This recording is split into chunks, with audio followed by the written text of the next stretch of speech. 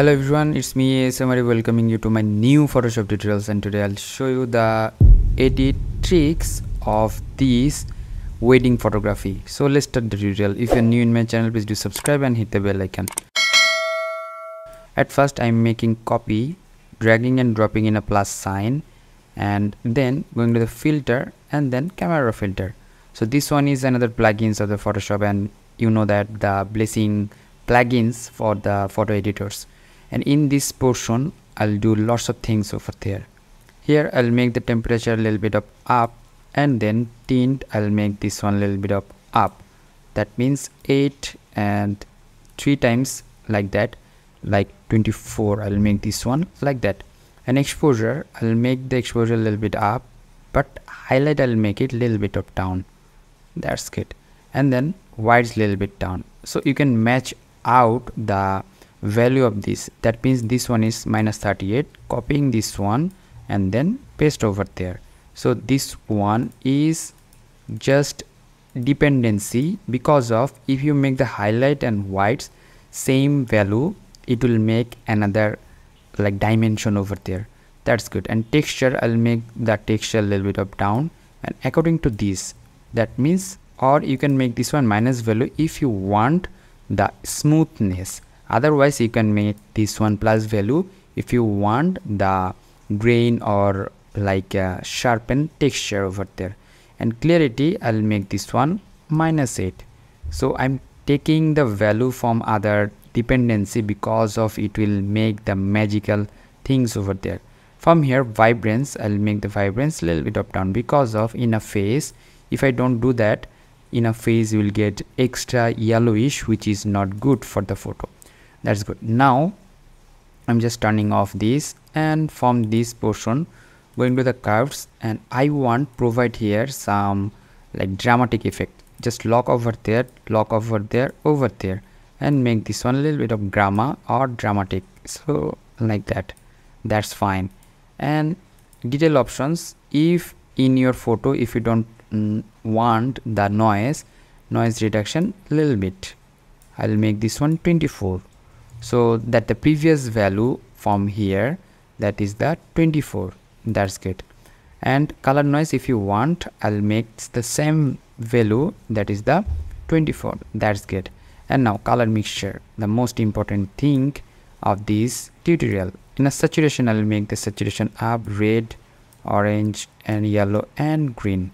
From the hue panel i'll make the green like that. Yeah that's fine and the yellow I'll make the yellowish like that. That means the plus value 24 this one is the 72 and that is the three times of this yellowish. That means I just made the uh, sequence like that. And in this portion I'm making 24 and 24 that's good and like 12 that means half of 24 and the red I'll make this one 12 that's fine that means I'm making the simultaneous harmony or similarities which is just playing with the numbers. In aqua you, you can work with that. That means like that. So like 48 that's good. And blue I'll keep like that. So before one and after one. Now time to add some contrast over there. From the basic panel I'll add contrast according to this value. I'm copying this and pasting over there. That's good. Now let's see the before and after. Okay now again we are going to this panel luminance options. So I'll make all the value will 12 that means you can write down 12 over there. So copying this one control C and control V and then control V control V control V control V and control V and control V. So let's see. Before and after. That's good. Now another important part of the tutorial which is the color grading. From here we are getting here shadow color midtone color and the highlight color. So these three color will provide like color correction proper proper color correction. So at first the shadow color in this area that means the black areas are the shadow. So at first you have to provide the value I'll provide 12 and then you have to slide this hue. Hue means which color you want to pick up.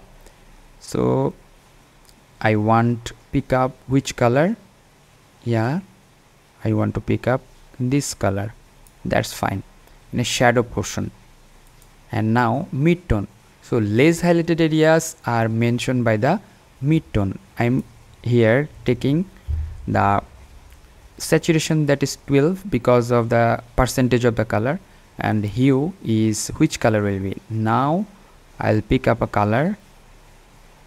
Yeah that's fine. And now the highlight. In this highlight area which color do you want? So in this portion again I'm taking the saturation 12 that means the percentage and you have to find out the proper color over there so this one I think this one is the perfect color.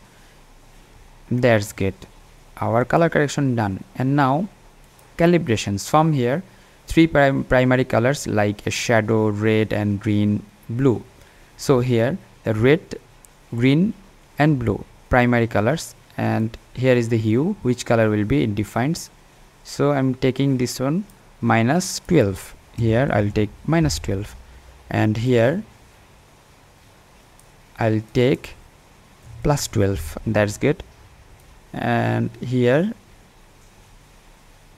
I'll provide like minus 12 so let's see before and after you are getting more dramatic effect in this portion. That's good.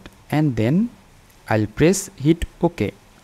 So for your purpose I'm saving these settings for wedding and saving that in my directory like wedding 2023 I'll provide this XMP file to you for your uses and that's free. So don't forget to subscribe to get this type of free preset from my channel. Thank you. And just hit OK.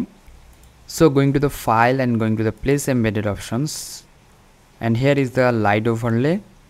And I'm just making this one bigger.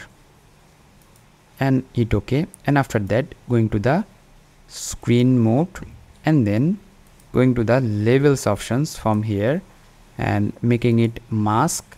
From here I'll make the color and contrast everything like that. Press ctrl or command T. You have to select this right press and rasterize the layer. After rasterize just make this one overlay light. That's good. And press ctrl or command T for transform. Actually it should be a little bit of like that. That's good.